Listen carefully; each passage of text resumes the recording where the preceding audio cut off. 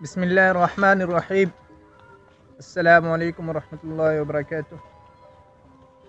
एक new video के साथ आप सबका खुश आमदीद। सुबह का मौसम है, बड़ा प्यारा है, बड़ा सुहाने मौसम है, जो कि अभी धूप तो निकलना शुरू हो चुकी है।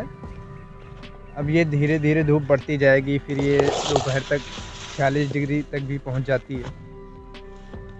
आज मैं अपने फार्म हाउस पर आया हूँ, जो कि मेरे भाई जान ने कहा था कि बीज लगाने का वक्त आ चुका है। तो खेतों की थोड़ी सफ़ाई कर दी जाए, खेतों को बना दिया जाए, ताकि बीज लगाने में थोड़ी जल्द से जल्द आसानी हो जाए। तो वही सब मैं देख रहा था कि अपने फार्म हाउस का क्या हालात है। तो मैं आपको अपना फार्म हाउस दिखाता हूँ कि खेतों में क्या हालात है और इतनी गर्म पड़ने की वजह से मिट्टियाँ किस हालात तक पहुँच चुकी है। मिट्टी सूख कर एकदम कड़ी हो चुकी है। अभी पहले तो इसमें छोटी छोटी घासें हैं। ये सब घास निकालनी पड़ेगी, उसके बाद इसको थोड़ा फावड़े से इसको सही करना पड़ेगा। उसके बाद इसमें पानी लगाई जाएँगी। पानी डालने के बाद इसमें थोड़ी फिर से फौड़े से सही करा जाएगा। फिर उसके बाद इन हमारी बीज पड़ेगी इसमें धान की। सबसे पहला हम काम करते हैं कि इसकी जितनी घास है, वो सब पहले निकाल लेते हैं। आप देख सकते हैं कितनी बड़ी बड़ी घासें हो चुकी है सब। इतनी बड़ी बड़ी घास हो चुकी है जो कि काफ़ी दिनों से है ऐसी, और ये रखा हुआ है हमारा फावड़ा, इसी से हम सही करेंगे। और एक हमारी यहाँ पे खुरपी भी रखी हुई है।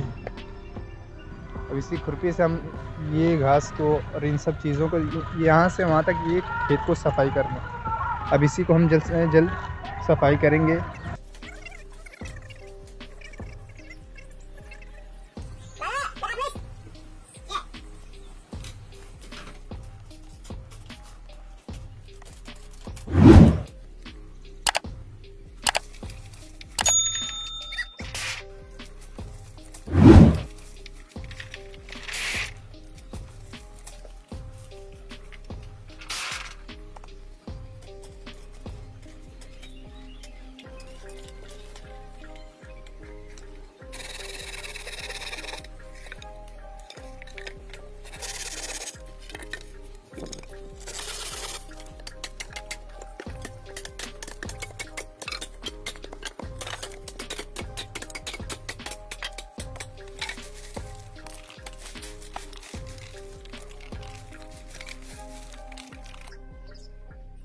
माशाल्लाह से धीरे धीरे हम घास निकाल को उसको।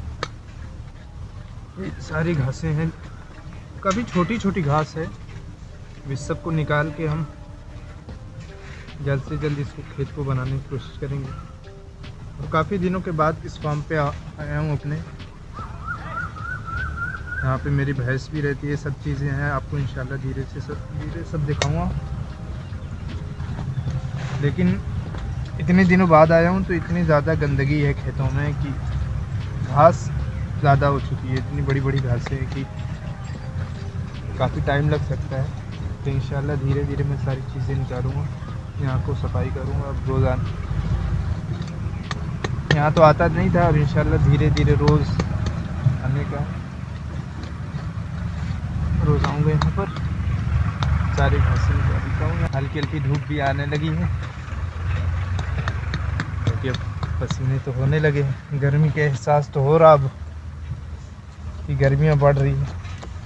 सोचता हूँ कि उससे पहले पहले धूप आने से पहले पहले सारी सफाइयाँ करके यहाँ से चल। लूँ क्योंकि जब ज़्यादा गर्मी पड़ने लगती है तो फिर तकलीफ़ भी उतनी ही ज़्यादा होने लगती है। और इस टाइम तो गर्मी लगभग अड़तीस डिग्री सेल्सियस के करीब है।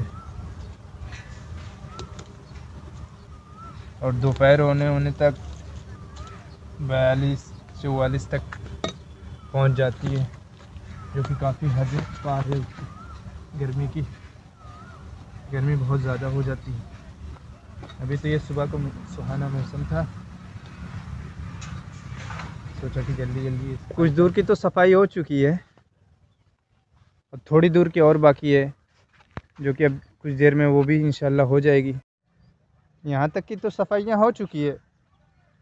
ये चारों तरफ़ की सफाइयाँ हो चुकी है और बाकी की यहाँ से कुछ आगे तक, वहाँ तक घास जहाँ तक दिख रही है आपको, वहाँ तक की सफ़ाई करनी बाकी है अभी।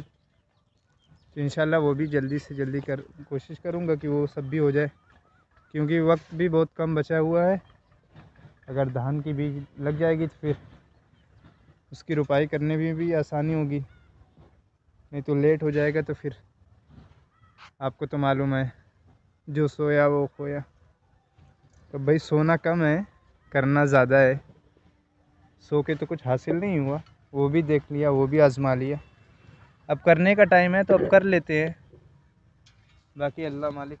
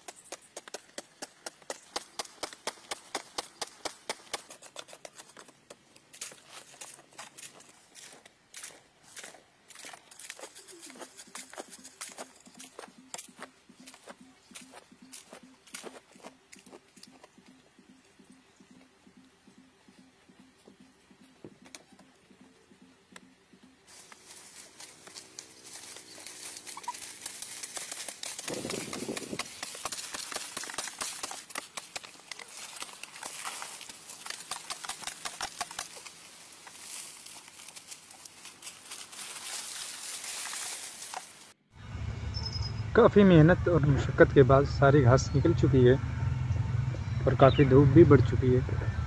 अब हम सीधा चलेंगे घर। प्यास भी लगी है, भूख भी लगी है, बहुत तेज़ की। सुबह से कुछ खाया नहीं थे और सीधा यहाँ पे चले आए थे नमाज़ तो यहाँ से सीधा हम जाएँगे घर को, इंशाल्लाह। जो काम बच चुके हैं, इंशाल्लाह वो कल से होंगे। अब मैं कल फिर आऊँगा सुबह सुबह अब धूप काफ़ी काफ़ी ज़्यादा हो चुकी है धूप। और गर्मी भी होने लगी है और प्यास भी लगने लगी है।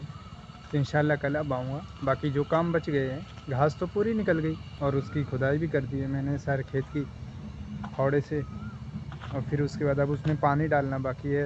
पानी डाल के फिर बीच उच डालेंगे भाईजान। अगर आपको वीडियो पसंद आई तो वीडियो को एक लाइक कर दें और एक प्यारा सा कमेंट कर दें।